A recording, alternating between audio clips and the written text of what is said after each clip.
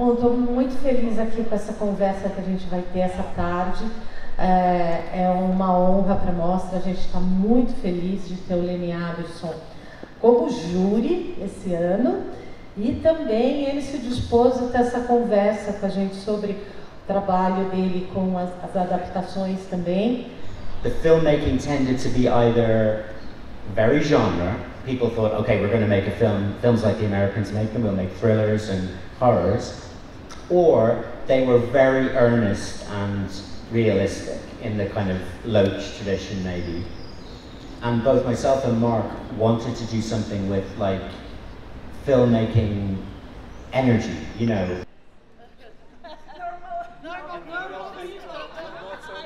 I don't know if it's a genre, but in a way, when I read a novel where there is a feeling of space and emptiness, and I can, you know, it feels like you're listening to, I don't know, to real life. That for me, if, if it's too dramatic or, or too sort of poetic, then it sort of like doesn't for me suit cinema. Cinema, like at its best, is the poetry of action.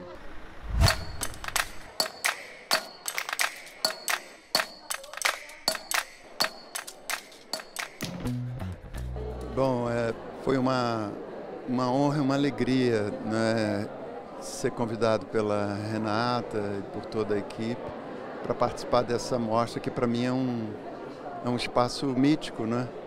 É, foi aqui também que eu passei o meu primeiro filme, Lavoura Arcaica.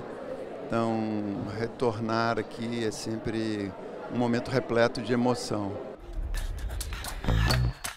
Bom, eu gostaria de dizer que uh, apresentar o filme na Mostra Internacional, o filme A Paixão Segundo GH, de Clarice Lispector, filmado por Luiz Fernando Carvalho, é uma enorme honra, um prazer imenso, é, principalmente nesse momento né, que o nosso cinema retoma o seu caminho e, e que a gente faz esse evento aqui, na Cinemateca.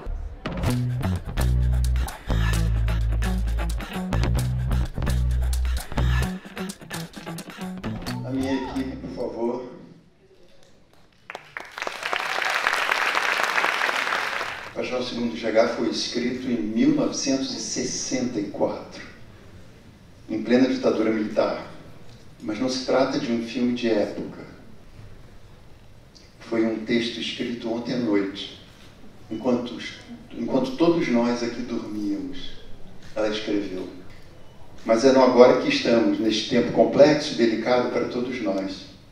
Nós, os autodenominados seres superiores relação ao todo da natureza. Superiores? Afinal, o que seremos nós?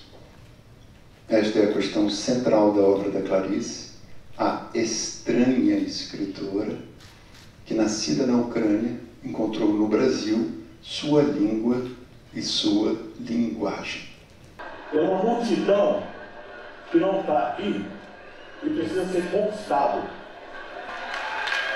ou a gente vai cair no precipício. Filme Partido é um filme que acompanha o Fernando Haddad durante as eleições de 2018, desde o início, quando ele era coordenador do plano de governo do Lula, até acabar as eleições, e ainda os dobramentos agora de 2022 2023, com a posse do Lula. Eu gostaria de agradecer demais a mostra. É uma sessão maravilhosa que a gente teve aqui, um retorno do público fantástico do debate e durante a sessão, risadas, aplausos. Então foi uma emoção, uma honra passar o filme na mostra. Parabéns!